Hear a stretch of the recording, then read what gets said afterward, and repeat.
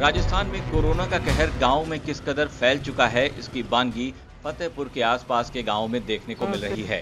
फतेहपुर से महज सात किलोमीटर की दूरी पर स्थित पंचायत हुडेरा के ग्राम नारी में पिछले 16 दिनों में नौ लोगों की मौत हो चुकी है।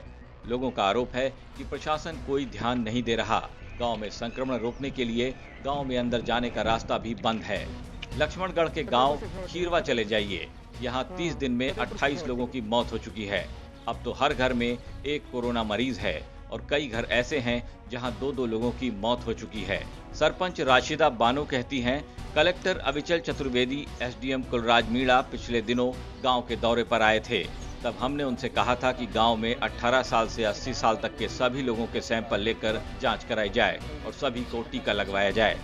ग्रामीणों का कहना है कि गाँव के सभी लोगों की जाँच नहीं कराई गई तो हालात बिगड़ सकते हैं। प्रशासन ने 5000 की आबादी वाले इस गाँव में अभी तक सिर्फ़ सौ लोगों को टीके की पहली डोज लगवाई है। सैंपलिंग का काम भी जारी है, लेकिन अभी काफ़ी लोग इससे वंचित हैं। इसी वजह से ग्रामीणों में आक्रोश है। फतेहपुर के दातरू पंचायत में बड़ा असर देखने को मिला है। यहाँ खांसी, बुखार से 15 दिनों में 30 लोगों की मौत।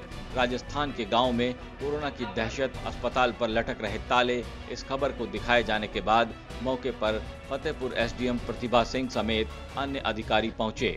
स्वास्थ्य विभाग चाचीवाद व जेठवा गाँव में मृतकों के घर सैंपल लिए गए। वहीं पंचायत में सैनिटाइजर करवाया जा रहा है। वहीं अन्य घरों में ऑक्सीजन लेवल भी नापा जा रहा है। ग्रामीणों ने यह खबर दिखाए जाने के बाद हमारे चैनल का आभार जताया है। धन्यवाद देना चाहता हूँ आज तक न्यूज़ चैनल की टीम का कि उन्होंने दांतरू ग्राम पंचायत में हो रही दर्दनाक मौतों की खबर को प्राथमिकता से उठाया और आज तक के चैनल के माध्यम से ये हमारी दर्दनाक खबर सरकार के कानों तक पहुँची और उसके बाद में कल से उपखंड स्तर फतेहपुर का प्रशासन हरकत में है। कल उपखंड अधिकारी महोदया प्रतिभा सिंह के साथ में पूरी टीम, तहसीलदार, विकास अधिकारी ब्लॉक सीएमएचओ और पूरी मेडिकल की टीम तीन घंटे तक पंचायत के दौरे पर राजस्थान तक के लिए फतेहपुर से राकेश गुर्जर की रिपोर्ट।